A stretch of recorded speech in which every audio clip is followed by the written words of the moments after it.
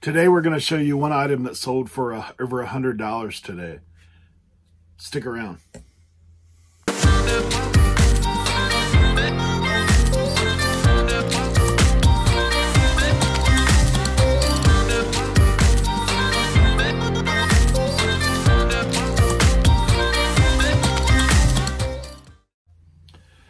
Good morning guys. Today is day 25 of my soy pod death to death pile challenge.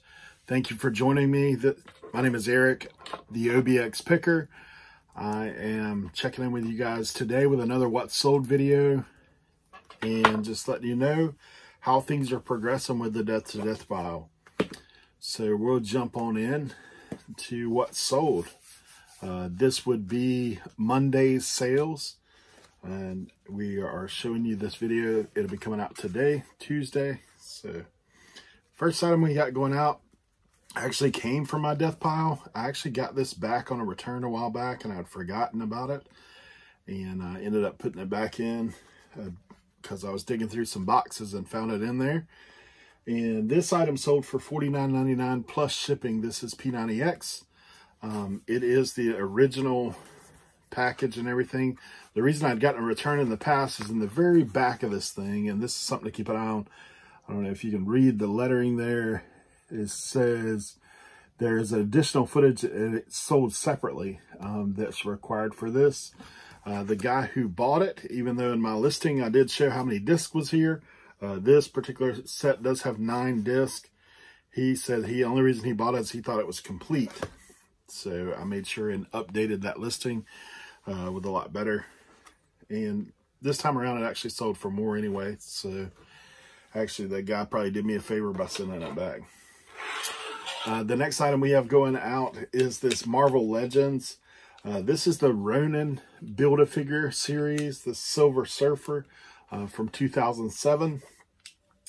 I've talked once before about how smart Marvel is uh, with how they sell action figures. When they came out with that whole Build-A-Figure thing, um, that was very ingenious on their end. So now, in order to make one of the Build-A-Figure characters, you have to buy sometimes eight or nine separate figures at $20 a piece to make one character. And if you find that character and he's older, they're actually pretty valuable. Most of them going anywhere from five, uh, 50 to 100 plus dollars. Some of them even more. Uh, the rarer ones. I sold a Galacticus, if you ever find that one, uh, for $125 by himself. So if you look at, at even loose, like that's loose. If they were, you know, if you had all the characters, a series, I sold the Juggernaut series, I think for like 240 or something like that.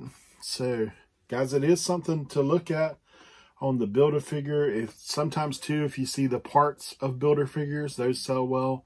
Um, I sold a Hulk Buster, like the Iron Man Hulk. Um, I sold a leg for $20. So that's how it works. If you see the action figure stuff laying around, you see a box that has parts and pieces in it, uh, might be something to look into.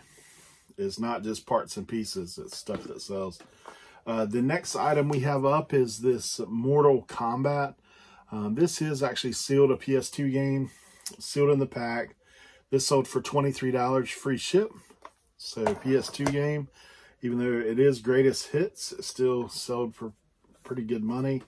Um, the next item we have going out is this retail arbitrage. This is, I picked these up for 15 cent a piece. This is the Dermamend Alpha it's the hydroxy therapy. Um, so this sold for twelve oh nine, uh, free ship. But like I said, 15 cent into that thing, so it's a good return on those. And I have quite a bit of them. Uh, the next item we got going out is this Kodak Instamatic M80. This is an 8 millimeter film projector. It is pretty heavy. Um, this thing sold. That came out of my death pile as well. Actually came out of my antique booth um, because I'd put those things in because those cameras are a little heavy and I've got several of the eight millimeter cameras. And so I had all them over there, kind of like a little camera section, but that's the first one to sell out of them. I just listed this a couple days ago. So sold for $55, free shipping. It's probably going to cost me about 12 bucks to ship. And I actually picked that projector up um, for $4 from a thrift store. So pretty good return on that. Next item we got going out is this Sector, Sector 9 skateboards. Um, this is an old uh, trucker hat. It's not old, old, but Sector 9 is like the longboard style skateboards. So this kind of has that retro look to it. But uh, this is going out for $12 plus shipping. And then the last item I have actually came in, I went ahead and shipped one of these out yesterday. Uh, this is an item that sold for over a hundred dollars and I picked that thing up for a couple bucks at our local thrift because nobody knew what it was, including myself. I actually looked at this thing two or three times just sitting over there and I was like, I don't, I think it's some kind of filter or something. I just didn't look at it real close. So if you saw this sitting in the store, you'd be like, what the heck is that? It looks like kind of corduroy. Well, what it is, and after I looked it up, I didn't recognize the brand. Kivik. If you see this, Kivik. So if you look closely, what this is, is this is an IKEA slipcover for like their sectional chairs. Um, and on the other end, when I looked at, saw this, I was like, this might have a little value. This thing actually sold for $108 plus shipping. So the buyer's all in for about $135. And I shipped one of these out yesterday. I still have this one, so I wanted to show it to you today. Um, man, those are the kind of flips that, man, get you real excited. Uh, when you find the X marks the spot, like in my logo, if you're out doing treasure hunting and you, you dig and you hear that thunk, like you just hit the treasure trove, yeah, that's the stuff that keeps you going. Um, so I've had those things listed for a little while, uh, probably about maybe a month and a half, but one finally sold. And so as you can see, that's a good flip, a good sale. So what it is is a reminder for me too, is look it up, man. If you're in the thrift store and you're not sure what it is, look it up. Because more than likely, if you're not sure what it is, it's A, it's probably underpriced at the thrift store, which is, you know, sometimes, like we always talk about, sometimes the things they think are valuable aren't valuable. The things they think aren't valuable are really valuable. So this thing, like the lady was like, yeah, you can get them for four bucks for both of them because they've been sitting there. No one's picking them up. Ikea, there's not an Ikea. I think the closest one for us is about two hours away. So not really a super popular thing in our area, but it is in other places. So that IKEA slipcover, Kivik. If you see the brand, pick it up, scan it, look at it. It's probably worth something. So that's what I had today in sales, guys. Um, like I told you yesterday, I did ship some things out out of today's sales yesterday, but yesterday's sales were good. Um, 280 some dollars. I think it's what the, the grand total was on it. So I'll give you a definite here in a second. The, I don't mind, actually, man, it was $340.68 on Monday. So another great day of eBay sales for me. So um, I encourage you guys, I'll show you where I'm at on the death pile. On the death pile, we are Death to the Death Pile, day 25, five more days to go.